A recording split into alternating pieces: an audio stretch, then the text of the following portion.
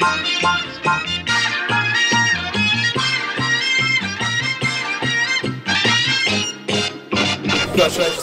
on the victory. How did it feel?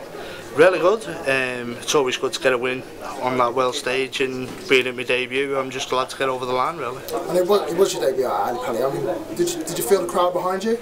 Um, yeah, yeah, I tried to. Uh, I stayed on stage and tried to keep them on my side. Uh, obviously, give them a bit of a G up and a cheer and a wave, but um, yeah, it all worked in my in my favour in the end. And you came out of the blocks pretty quickly and sort of was two sets up, and then sort of was it nerves maybe in that third set? Possibly just getting over the line really. Um, the plan was always to come out fast and uh, just try and score as well as I can. Um, by no stretch of the imagination, that, that was definitely not my best game. But um, as you say, the debut is always the, always the hard one and uh, I look forward to my next game now. And you talk about your next game against Chelsea Away, It's going to be a difficult opposition.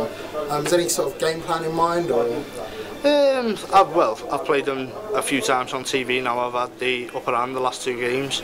I've seen an interview with him. He said he didn't play too well in them two games. But uh, to be fair, I don't think I played my my A game. And um, if I can turn up with my A game, I'm sure I'll be fine and sort of you've got it up right now with the Christmas period. To, is it just going to be spending it with family? Definitely, yeah. Um, obviously, it's it. We're driving home tonight. It's really good to, to get home and I can relax, put my feet up, and just have a really good Christmas. And uh, as I say, I'll still be on the practice board a few days a week and um, just just building up for the for the next game really.